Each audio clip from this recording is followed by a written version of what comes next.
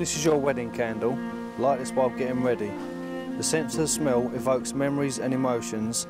Relight this candle whenever you want to remember how you felt on your wedding day. Love, James.